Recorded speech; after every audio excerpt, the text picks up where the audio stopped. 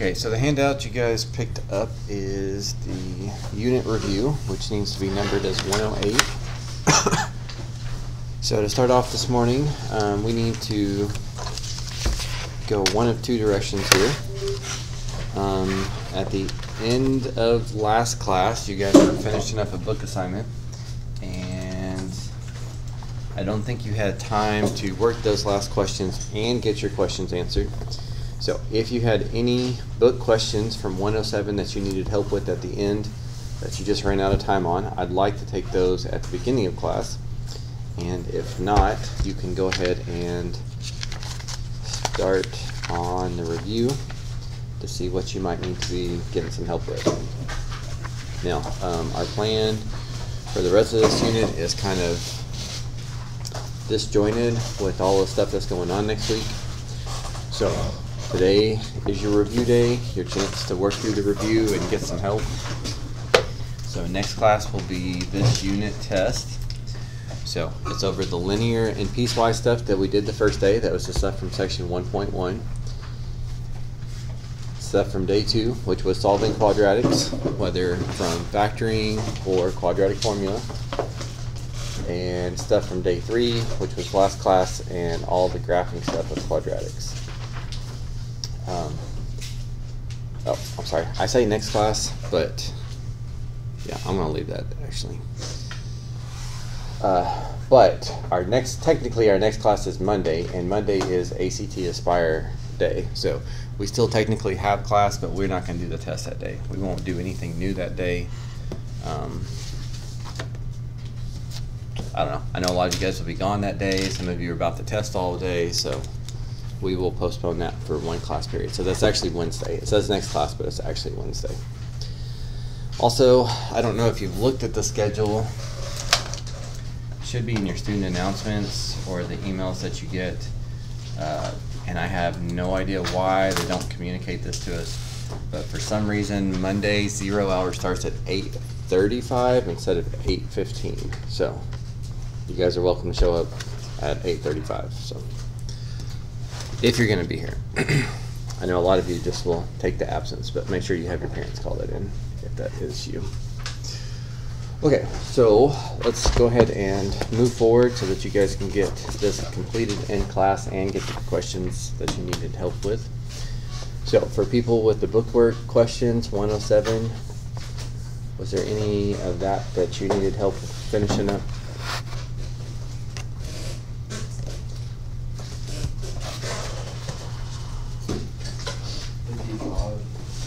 Fifty-five.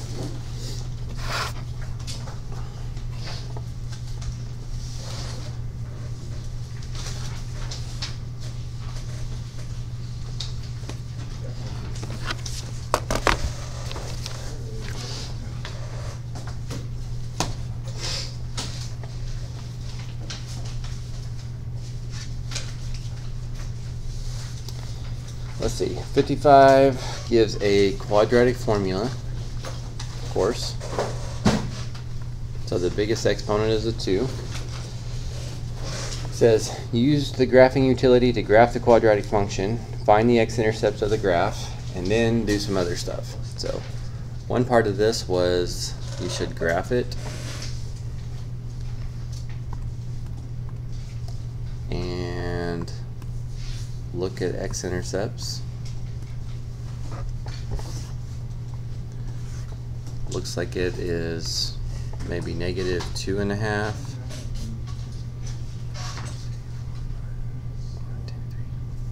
And maybe six.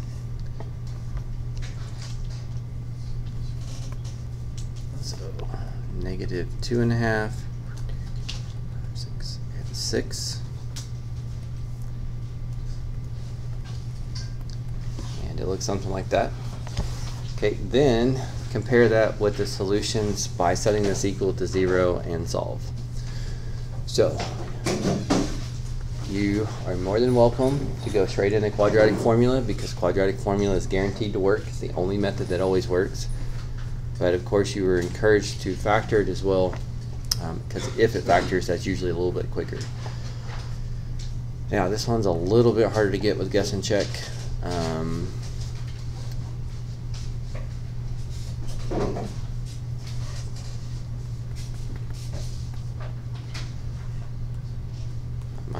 think of the product sum, because with these numbers, I don't know if I can do that in my head.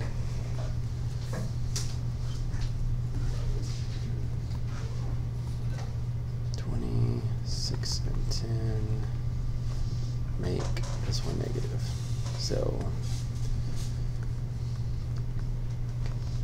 If you still do the product sum method, looks like you could do a minus ten x with the plus, s- uh. Oh, what am I thinking? That didn't work. Six and ten doesn't add up to negative seven, no matter which one of those is negative. About twelve and five, okay, that works. Negative twelve, positive five multiplies to a times c but adds up to b. So negative twelve x plus five x minus thirty. And then if you are doing the product sum method, the second half of the question is factor by grouping, which is good to know how to do anyway. So it looks like an x minus 6 and a 2x plus 5 is how it factors. Now, I don't know if that's faster than doing guess or check. I could just tell based on those numbers there was a lot of things to guess, so I didn't know how long that would take. So at least with product sum, I know within a minute or two I'm going to have it. And so if I'm trying to solve where this equals 0, I can set this equal to 0 and solve, which matches up with what the graph showed us, and we could set this equal to 0 and solve which is what that part of the graph shows us. So they're just trying to help you see that connection. Visually, real x-intercepts, x-intercepts that don't have an i in them, um, are the solutions of quadratic equations. Okay, anything else about that?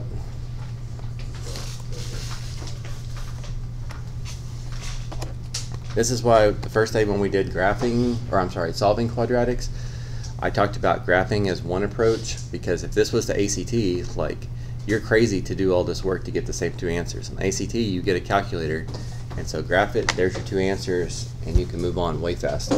So that's why, even though we don't allow you to have a calculator often because we need to see that you can do it, it's still a good skill to practice at times.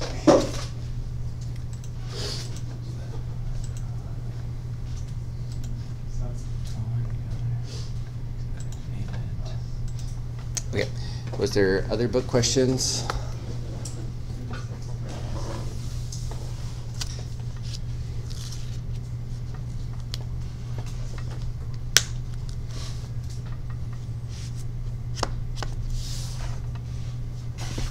Okay, if you do find one, I would be happy to help you. But go ahead and dive into the review. I need to pick up a copy myself too. But if I remember right, the first page is most of the linear stuff.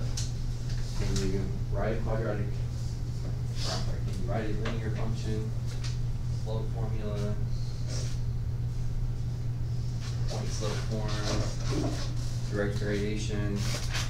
That's pretty much the bulk of the front page.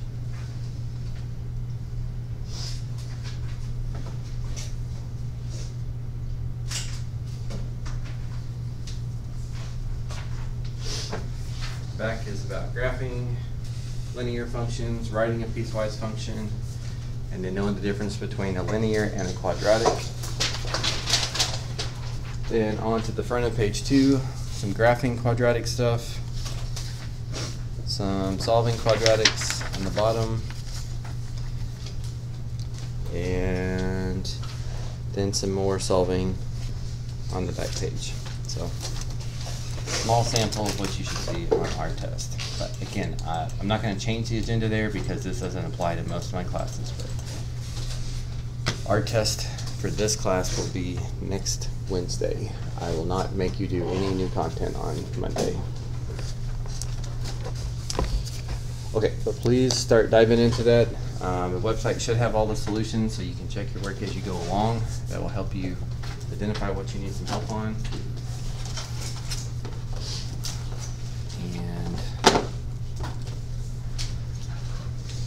And I will interrupt you guys occasionally to take some questions up on the board, but you're welcome to ask questions before then as well.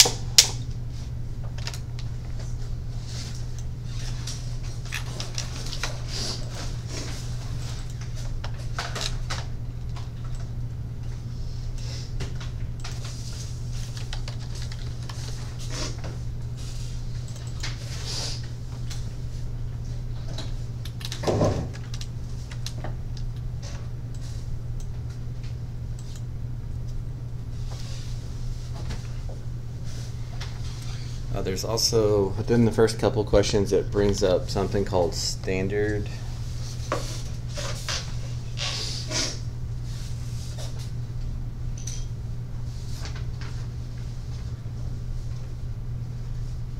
Uh, That's fine. But the question one specifically asks you to sometimes do slope intercept, sometimes do standard, sometimes do point slope. So I think I mentioned last class that standard form can mean different things to different people.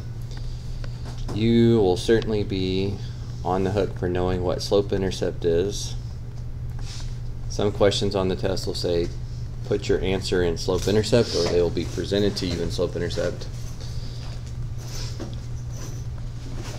I highly recommend that you always do point slope if you have a choice.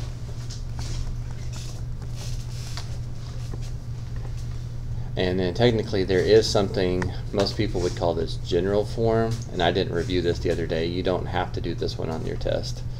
But when it says you can put it in any form you want to, general form is where you put the number of x's on one side, the number of y's on the same side, and the constant on the other side. That's pretty uh, old fashioned. Slope intercept's great because you should instantly know the slope and the y-intercept. Point slope is great because you should instantly know a point in the slope. General form kind of helps with finding the intercepts, but not enough that you need to like worry about studying it. So make sure that you're familiar with the first two.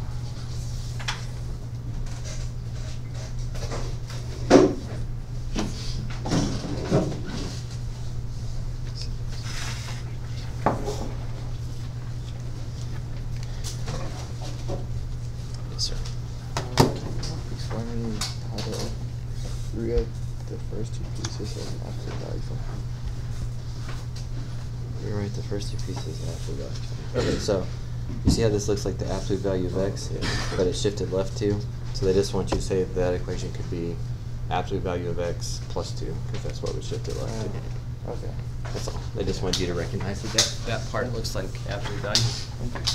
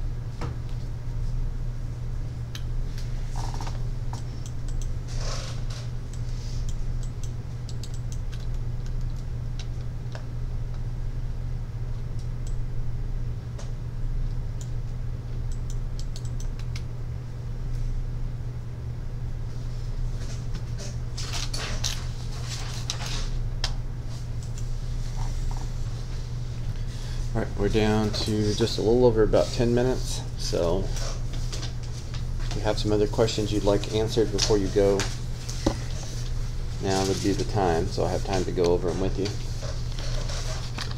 Anything from the review that you see that you would like me to go over again?